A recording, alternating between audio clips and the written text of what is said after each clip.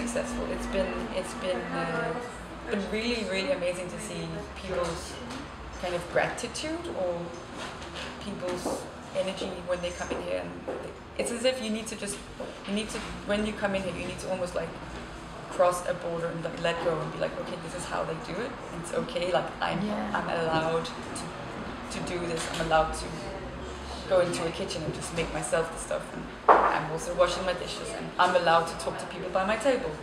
It's not a problem. So when people have kind of give in to that it's it's it's it's very it's been very wonderful and there's been lots of people and lots of people asking questions and uh, you know. There will be this flow of people who come in and out and give a little bit of their time to be the people who greet people, who make ideas and facilitate events and um, sort of using it as a playground somehow to see what can I get out of this and what do I want to give and how do we do that in collaboration. So volunteering means that collaborating means that you contact us and you can say, okay, I want to give.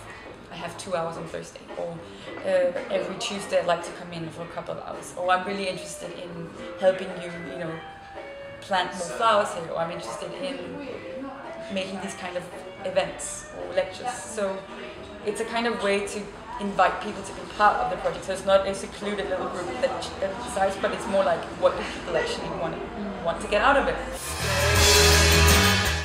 Ivan is in New York. Uh, he is uh, looking at spaces. He's doing his, his his field research, I guess. That's going to happen, of, uh, for, um, hopefully, and uh, I'm sure there's been some talk about Berlin, Paris, stuff like that. It's not maybe other places in U- UK.